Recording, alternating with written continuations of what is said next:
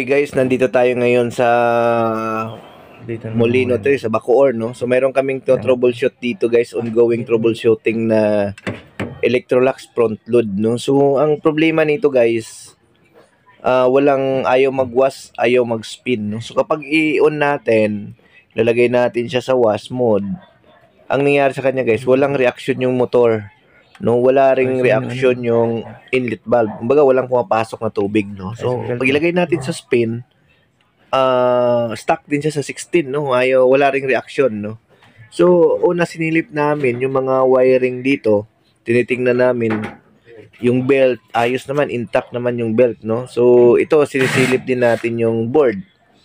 No, sisilipin natin kasi wala siyang reaction sa lahat, no? Titingnan natin yung board, baka may mga sunog-sunog, i-visualize natin yung board kung ayos ba yung condition, no? Kasi minsan, pagka sunog-sunog na yung mga board, tapos walang reaction yung ah, system natin, so possible board ang naging problema, no? So, ayan. So, so far, maayos naman. Wala kami nakitang ah, Okay na sir, maluwag unusual dito sa board na ito, no? So mukhang maayos pa yung board niya. Medyo madumi lang, no? Pero wala pang tama, no? Wala pang sunog-sunog based doon sa visual na titingnan natin. No. Ayan. So, inaala, titingnan natin ang maigi, no? Yung mga connection, wala namang problema, no? Ayan. So, yung mga connection dito sa ilalim, titingnan natin. Ayan. Sir. Yan yung mga ah, socket, no? Yung socket ng Electrolux ng board.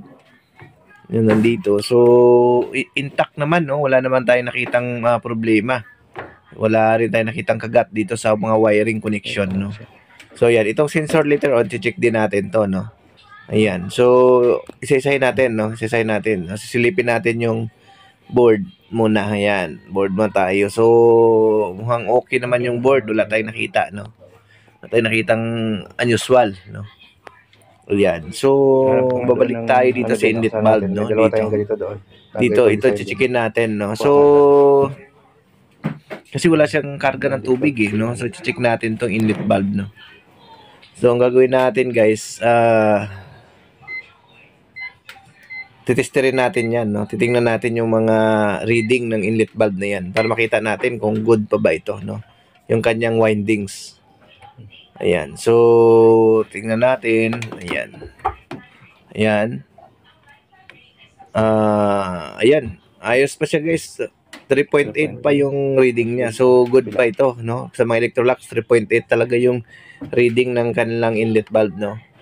Ayan, yung kabila. Tignan natin. Ayan. Medyo mahirap lang talaga testerin tong inlet valve ng Electrolux. Ayan guys, 3.8 din, no? Halos same din, walang problema, no? So, maayos naman. So, ang gagawin natin, ah, gagawin namin, meron kaming dalang inlet valve nito. Subukan namin palitan, i-actual yung inlet valve, no? So, ito guys, pinalitan natin siya, no? Pinalitan natin ng bagong inlet valve. Tingnan natin kung mag-work. Ayan, so lagay natin sa sa ah, wash mode, no? Ayan. Lagay natin.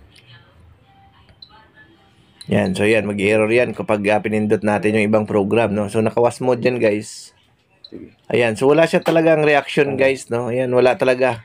Naglalak naman siya, pero wala siyang, ayaw niyang magkarga ng tubig. So, alisin natin tong pinalit natin na temporary inlet valve, no? So, hahanapin na naman natin yung problema, no? So, ganito po, guys, sa pagto-troubleshoot ng ganitong ah, washing machine.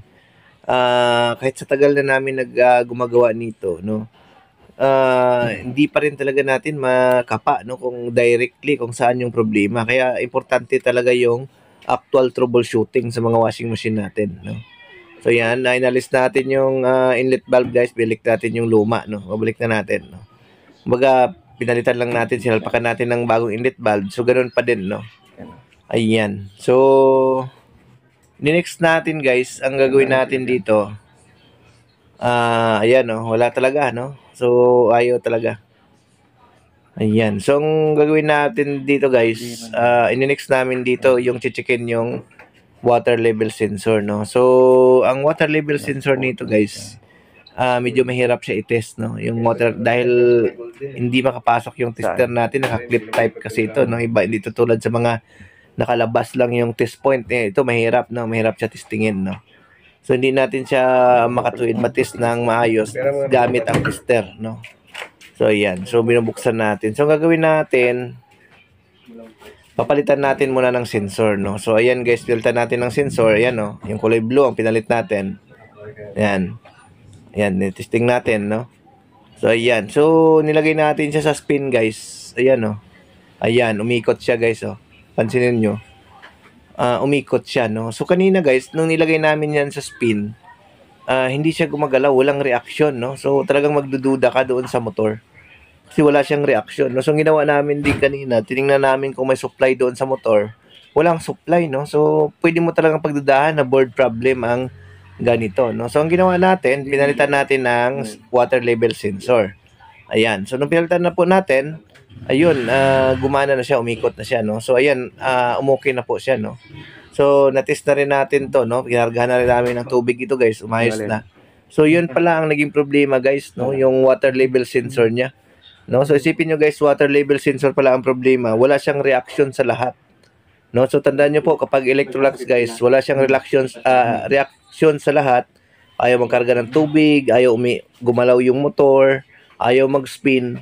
So una nyong i-suspect guys yung water level sensor. No? So mas the best talaga kapag nag-home service kayo, kung kayo po ay mga technician, mayroon kayong baon na parts. Kasi tulad nito guys, kung wala kang baon, maliligaw po tayo sa troubleshooting nito hanggang mag-come up tayo na board problem na pala yung ah, sira. No? Na totoo pala, hindi naman yung sensor lang. So iba talaga pag may baon ka laging ah, bala pag pumunta ka sa gera. No? So ayan po. So maayos na po siya guys. No? May ikot na po siya.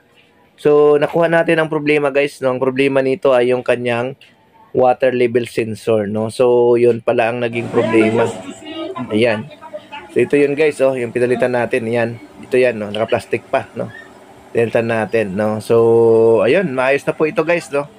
So, nagawa rin natin, no? So, yan po, no? Nakuha natin sa tiyaga. Okay guys, uh, maraming salamat sa panonood. Uh, bye-bye!